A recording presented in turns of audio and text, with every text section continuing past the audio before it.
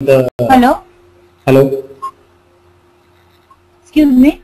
Yeah. Like, uh, instead of creating a new object, if we add like uh, samples to our visit uh, visit object, and if we like uh, give a relationship between visit and our this uh, first first table that uh, product table and if we give the product id so we can track accordingly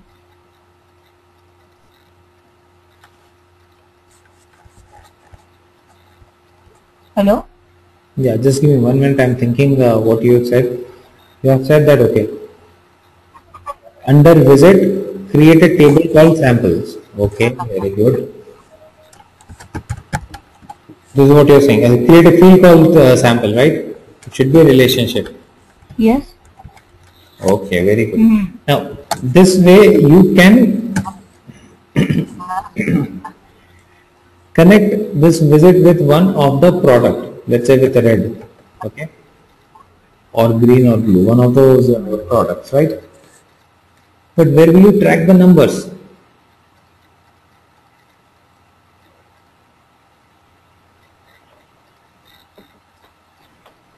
The point is not just tracking that, okay, whether the sample was given or not. The point is that how many samples were given. Fine. So where do we track those numbers?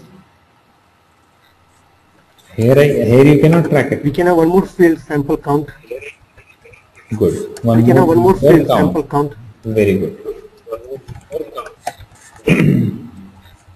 so, okay, let me show it to you in, in, in another sheet.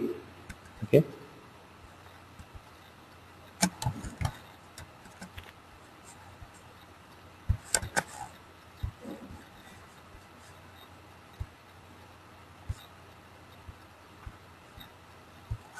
Okay. Let's say there is a visit, visit ID is V1 and the date is 23rd May. And uh, the store that he visited is ABC store, sales rep is XYZ, okay, duration is 40 minutes. And during this visit, so this is the record, right? So this is what we are planning to create, okay, duration, sample, okay. So now what we are trying to you know talk about here is that under sample we will create a relationship okay? So this value of this can either be red or green or blue one of the products one product right? A relationship can be done with one product at a time right? Okay. And give a count also. Let's say 30 red boxes or sorry three samples being given three samples you give okay of red fine. Good thing. Now think of it. In case during this visit during this visit the client the store asked let's say the sales rep you are the sales rep you yourself okay? You went for a visit. Now the store owner has asked you for one red sample one green sample and two blue samples. How will you track that thing here you can connect this field only to one That's why we need another object. Hmm, sorry So that is the reason we need another object for samples. Fine. So in case we put try to put this thing here, then the challenge that we have is we can just mention of one particular product which has been given as sample. Or if you don't, uh, or you might have to you know remove this and then just give a complete count of the samples. But that does not give you a clear picture, right? So for that, what we need to do is this I, I hope this uh, this part is clear with uh, all of us right so for that what we would now need to do is we would just need to go back to our we will be creating oh sorry Sheet one. we are on the sheet one right and create this another object for tracking samples. Okay. So here you track your samples. Uh, put the ID visit on which visit the samples were given. Okay. But the problem here is Here also, if I put a product, if I connect it with a product, again it will be connected to one product only, right? So it's not, it's not doing anything better than, uh, you know, that uh, tracking it here.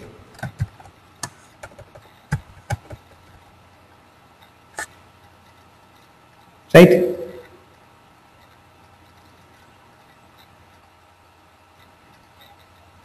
So tell me, what is the, on a visit, there are products being given.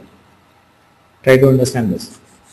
On a visit, there are products being, being given. So we, we saw the, that, uh, you know, even if we create one more object, it is not helping us to, you know, great extent.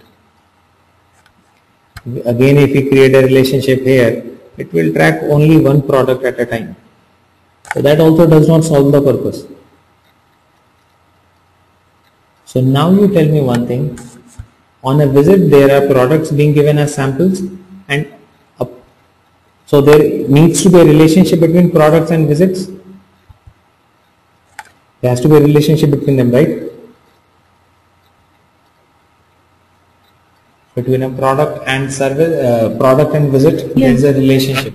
What kind of a relationship is that? Is that one to many or uh, what kind of a relationship is there between product and visit?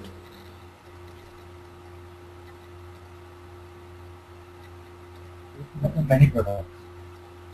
It is a many to many relationship. Many to many. Many, products can have many visits. Right. On a particular visit, there can be multiple samples or multiple products which are being given out as samples, and the same product, uh, you know, can be given as samples on the on different visits. so here, the story is very simple. It is gonna be a junction object between these two, right? Between the products and the visits. Alright? So it's very simple. we, we create junction object whenever there is many to many relationship, right? Right. Hmm. Okay. So junction object should have a visit ID. It should have a product ID. And it should have a number.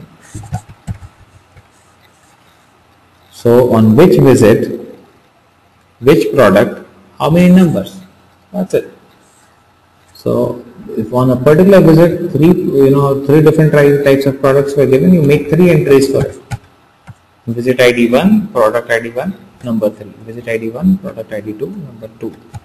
So that is. So the samples can be a junction object here.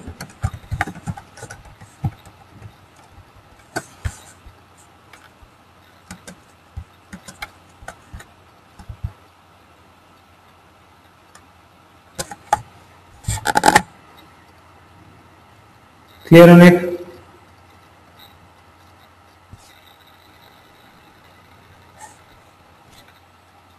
So this will be a relationship with the visit and this will be a relationship with product. So- the whole concept of having a different product object was this that we can create this junction object and then you know you can track all the information related to product here.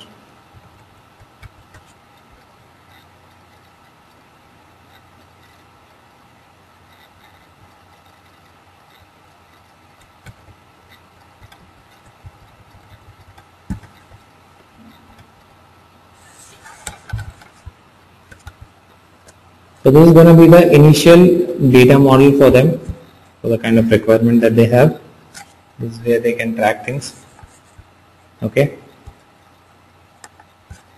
so what we are going I, to do I have a doubt hmm please go ahead on What we are gonna do? on this junction object. Please do it. On this junction ob- object, the number relationship product. I, I didn't understand how was that uh, Sorry. relationship Sorry, with product. Sorry. Sorry, sorry. no it was meant to be like this this should be meant to be like this. This should be enough. That's a count, right? That is the count. That is the count. So on a visit, on twenty visit, on 20th, box has given how many numbers?